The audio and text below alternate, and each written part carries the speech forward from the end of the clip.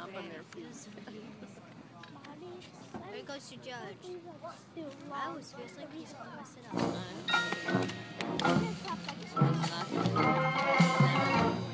Uh,